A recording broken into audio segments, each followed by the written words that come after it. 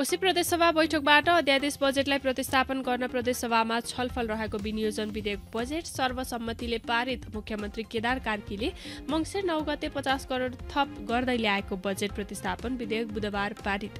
प्रस्तुत बजेट विवरणमा चालु आर्थिक वर्षका लागि छत्तिस अर्ब चौरात्तर करोड पैँतिस लाख दस हजारको बजेट प्रस्ताव थियो भने यसअघि उक्त विधेयकमा असहमति राख्दै एमालेका छ र राप्रपाका दुई सांसदले खर्च कटौतीको प्रस्ताव राखे पनि अन्तिम समयमा सबै दलको ध्वनि मतबाट बजेट पारित। राष्ट्र स्वतन्त्र पार्टी रासोपाद्वारा राजनीतिक दस्तावेजको प्रस्तावना पारित। सोमबारदेखि महोत्तरीको जलेश्वरमा बसेको केन्द्रीय र संसदीय दलको बैठकले राजनीतिक दस्तावेजको प्रस्तावना पारित गरेको जानकारी। उक्त प्रस्तावनामा शान्तिपूर्ण मार्गबाट समाजवादका प्रधान लक्ष्यहरू प्राप्त गर्ने निर्देशक सिद्धान्त बनाएको उल्लेख। प्रस्तावनामा राजसोपालाई सामाजिक न्याय सहितको उदार अर्थतन्त्रमा विश्वास गर्ने बहुलवादी लोकतान्त्रिक पार्टीका रूपमा चित्रित। पूर्ण लोकतान्त्रिक गणतन्त्रात्मक शासन प्रणाली अपनाउने तथा जवाफदेहीपूर्ण असल शासन मार्फत समन्यायिक समावेशी समाज निर्माण गर्ने रासोपाको लक्ष्य। यसै गरी लोक कल्याणकारी राज्यको सुनिश्चितताका लागि सार्वजनिक निजी र सामुदायिक स्रोत साधनको दिगो परिचालन गर्दै उद्यम मैत्री लगानी अनुकूल प्रतिस्पर्धात्मक सामाजिक बजार अर्थतन्त्रको स्वतन्त्रता सार्वभौमिकता भौगोलिक अखण्डता राष्ट्र एकता स्वाधीनता र स्वाभिमानलाई सदा अक्षुण्ण राख्नु नै राष्ट्र स्वतन्त्र पार्टीको अभिष्ट रहने प्रस्तावनामा उल्लेख। संशोधन भएर आएको नागरिकता ऐन अझै लैङ्गिक विभेदपूर्ण रहेको नेपाली काङ्ग्रेस र नेकपा एमालेका महिला सांसदहरूको टिप्पणी। बुधबार काठमाडौँमा महिला कानुन र विकास मञ्चले गरेको कार्यक्रममा बोल्दै नागरिकता कानुन केही संशोधन भएर आए पनि महिला माथिको विभेद कायमै रहेको प्रतिनिधि सभामा काङ्ग्रेसकी सचेतक सुशीला थिङको भनाई। नागरिकता ऐन संशोधन भए पनि अझै एकल महिलाका सन्तानलाई नागरिकता दिन समस्या रहेको सांसद श्रेष्ठद्वारा उल्लेख।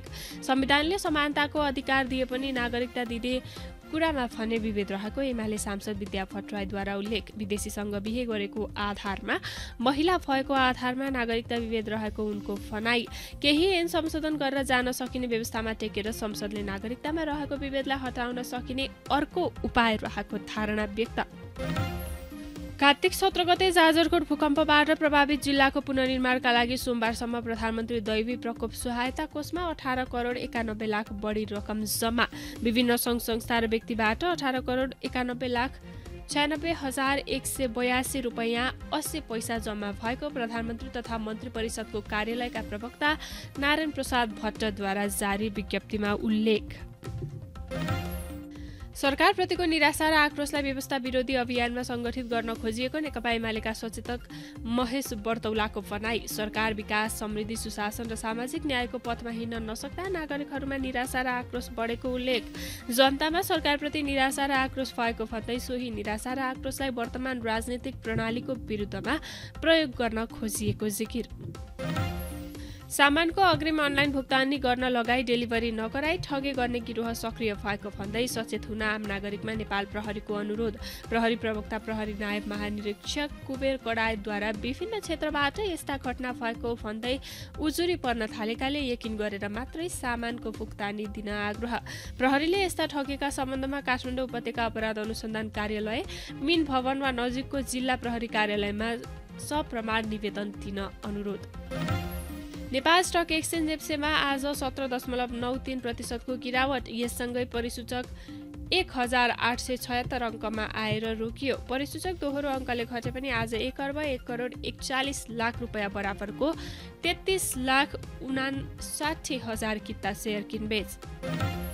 जापानको याकुसीमा टापु नजिकै छ अमेरिकी सेना चढेको विमान दुर्घटना। जापानी कोस्ट गार्डद्वारा बिबिसीलाई दिएको जानकारी अनुसार उद्धारकर्मीहरूले घटनास्थलमा एक व्यक्तिलाई फेला पारेको उल्लेख जापानको सरकारी मिडिया एनएचकेका अनुसार सिभी बाइस ओस्प्रे विमान याकुसीमा एयरपोर्टमा अवतरण गर्न खोजिरहेको बेला बायाँ इन्जिनमा आगो लागेको उल्लेख।